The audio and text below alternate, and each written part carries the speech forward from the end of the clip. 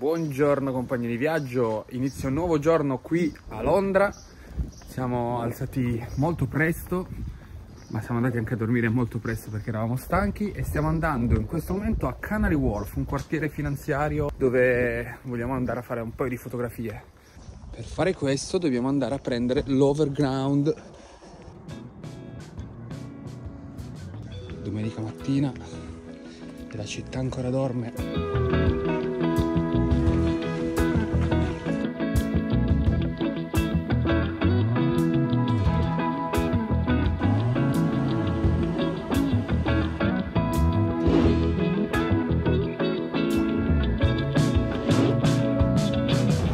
Ed eccoci in Canary Wharf, il quartiere finanziario di Londra, con quella fermata della metro famosissima.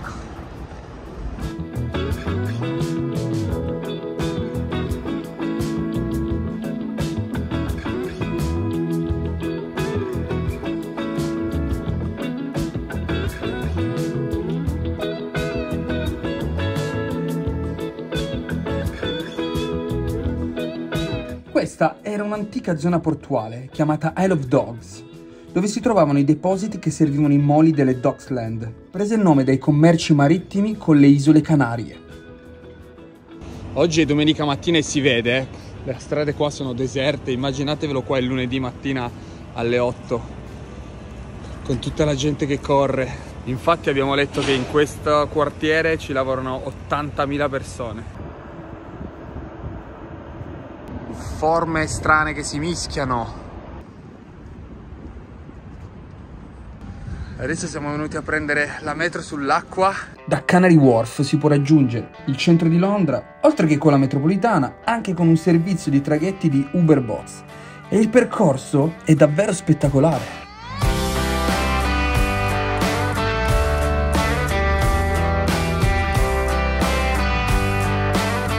Abbiamo la Torre di Londra, Vedete, siamo passati sotto il Tower Bridge, è stato bellissimo.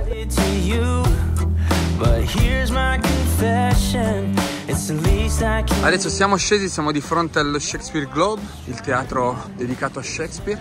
Adesso stiamo attraversando il Millennium Bridge, di fronte a noi abbiamo St. Paul Cathedral, laggiù c'è la City, laggiù ancora in fondo c'è il Tower Bridge con la, lo Shard, la scheggia di vetro e qua dietro la Tate Modern, il museo d'arte moderna.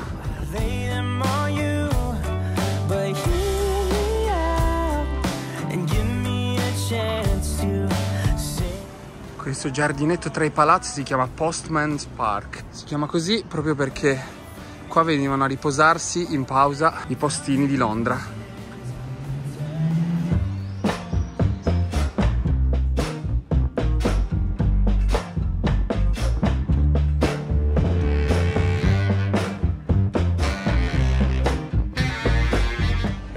città in continuo mutamento. L'ultima volta che sono venuto in questa zona qua, nella City of London, c'era la metà dei palazzi probabilmente. I palazzi questi qua, moderni. Infatti vedete che anche qua dentro stanno costruendo un nuovo grattacielo. Attraversando la City raggiungiamo il quartiere di Shoreditch e di Brick Lane, le zone hipster, creative ed alternative di Londra, dove potremo trovare mercatini, negozi vintage e street art di ogni tipo.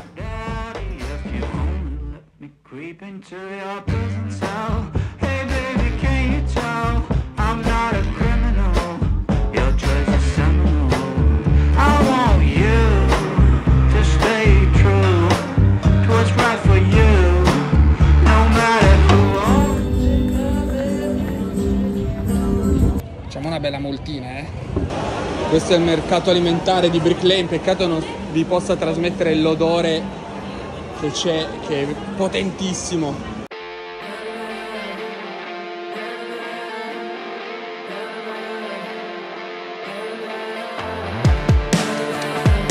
Noi ci coccoliamo con un bel rice bowl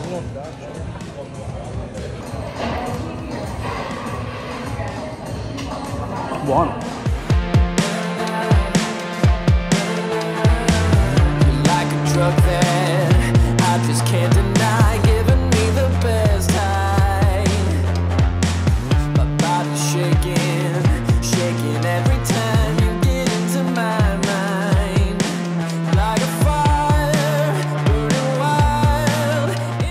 Guardate questa chiesetta medievale come sopravvive, circondata da palazzi sempre più alti. Immaginatevi un piccolo prete che si risveglia in questa chiesa, esce e si ritrova qua in mezzo.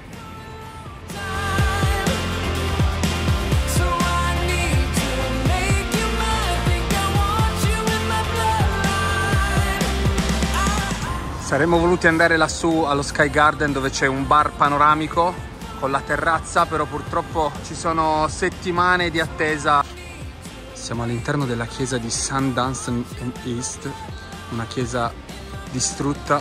All'interno adesso c'è un meraviglioso giardino.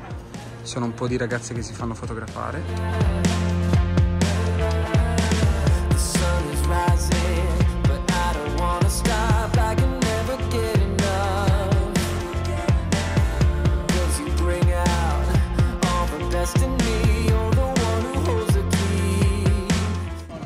Tower of London, il castello che contiene i gioielli della regina, della corona.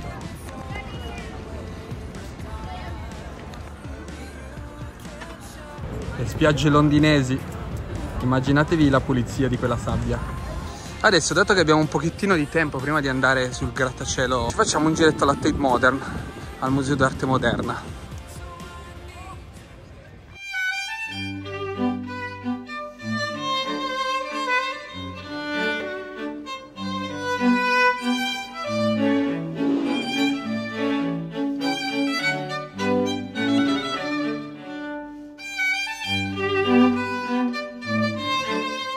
Sala surrealistica è meravigliosa. Guardate questo che bello!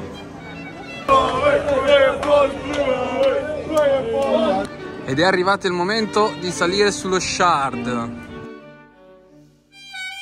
Qua aspettiamo l'ascensore per salire sullo Shard.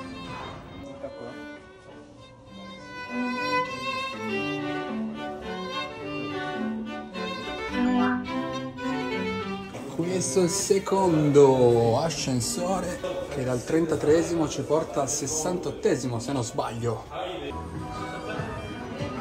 Mamma mia, che roba! Laggiù c'è il Tower Bridge. La casa che abbiamo affittato noi è qua, in questa zona là laggiù è Canary Wharf, dove eravamo questa mattina, dove c'è il quartiere finanziario. Quello là sotto è il famosissimo Tower Bridge, che da qua si vede in maniera fantastica. E qua c'è la Torre di Londra, e laggiù c'è la City. E da questo lato, anche se un po' contro sole, vediamo tutto il centro di Londra, tutta la periferia di Londra.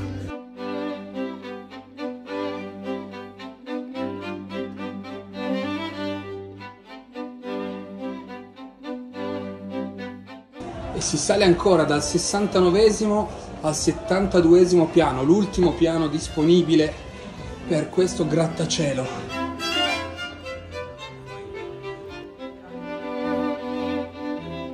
E qua all'ultimo piano il soffitto è aperto.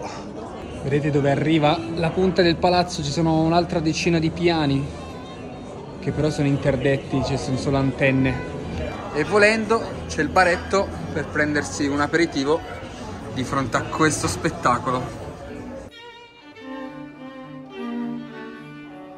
È arrivato, ahimè, il momento di scendere e lasciare questo posto incredibile. Esperienza mega, mega, mega consigliata. Costa tanto, ma è mega consigliata. Una piccola curiosità. Questo potrebbe essere uno dei bagni più belli al mondo. Per darvi giusto due informazioni su The Shard, il grattacielo appena visitato, è stato inaugurato nel 2012 su progetto dell'architetto italiano Renzo Piano, è alto 309 metri, 83 piani di cui una settantina abitabili, infatti ci sono sia uffici che appartamenti.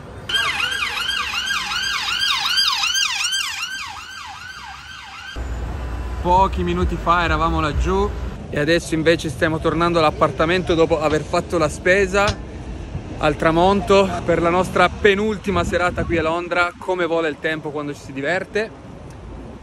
E va bene così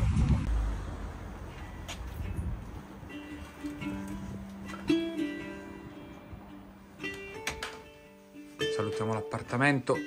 Buongiorno da Londra, è iniziato l'ultimo giorno qui in questa città meravigliosa, in questo deserto apparente. Ci muoviamo verso Primrose Hill. Ecco che arriva il nostro bus.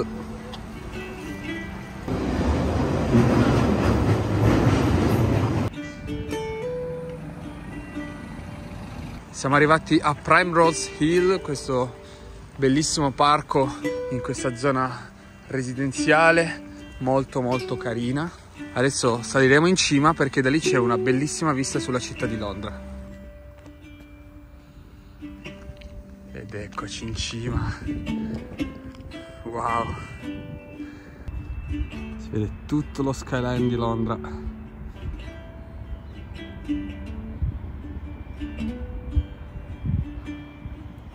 Oggi c'è la City, The Shard.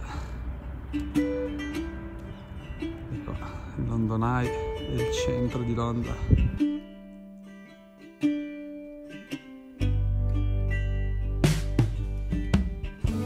Sempre bello Primrose Hill. Adesso scendiamo e andiamo in quella direzione lì verso Camden Town, ma vogliamo semplicemente costeggiare i canali di Camden Town per poi andare verso il centro.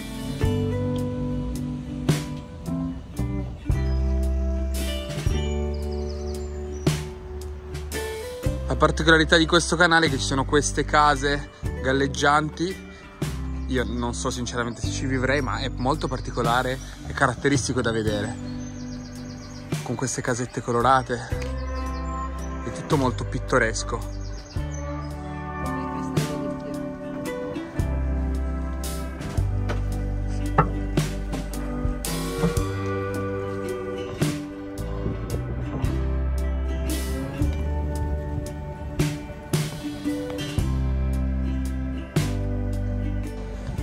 Adesso siamo nell'inconfondibile Camden Town. Con i suoi negozietti ormai solo negozi per turisti. Con questo cielo grigio che sembra fatto apposta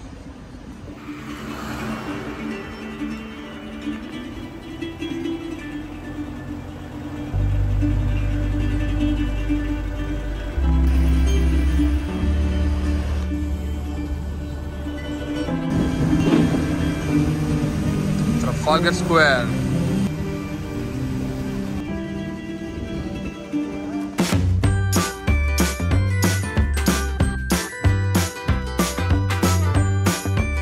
Un cielo plumbeo sopra la statua dell'ammiraglio Nelson.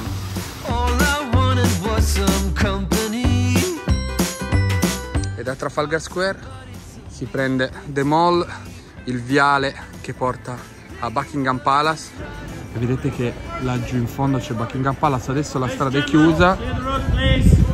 E mi stanno urlando di andarmene.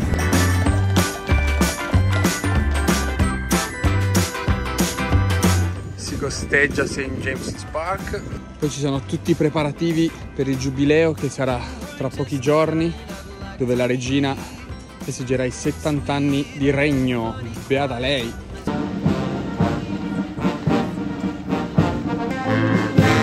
come farsi mancare il cambio della Guardia Reale davanti a Buckingham Palace.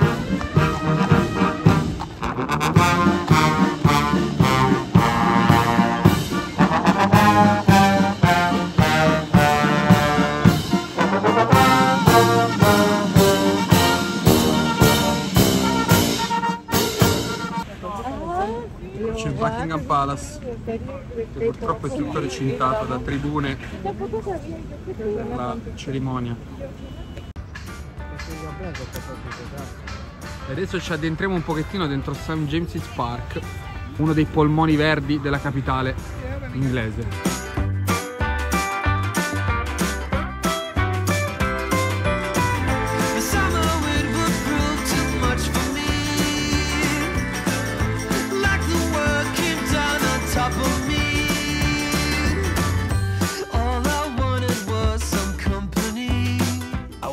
Bella, vieni qua, vieni qua che ti faccio vedere io, ah bella!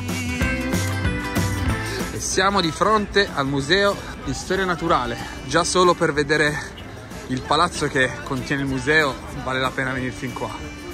Sembra un po' Hogwarts. Pensate che questo museo ospita circa 70 milioni di reperti organizzati in 5 collezioni principali. Botanica, entomologia, mineralogia, paleontologia e zoologia. E l'ingresso è gratuito. E questo di fronte ad Hyde Park a Kensington Garden è la Royal Albert Hall, che ha questa costruzione circolare che assomiglia un po' al Politeama di Napoli e proprio di fronte c'è l'Albert Memorial, questa piccola cultura dedicata al marito della regina Vittoria.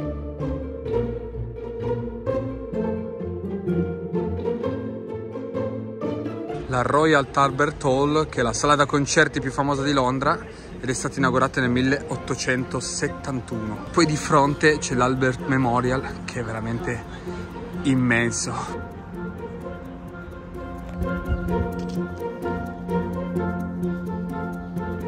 Questo è il meraviglioso Hyde Park, parco secondo me più bello di Londra, tra i tanti bellissimi. Infatti una delle cose che apprezzo di più e amo di questa città sono proprio i suoi parchi, i suoi giardini, sempre curatissimi, verdi, dove ci si viene a rilassare.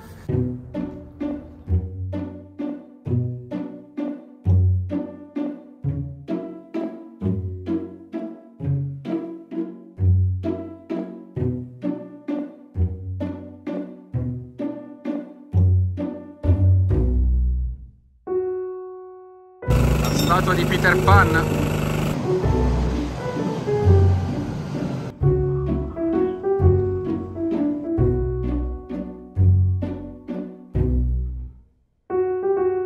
E prima di lasciare Londra non poteva mancare una birretta in un tipico pub londinese di fronte a Liverpool Street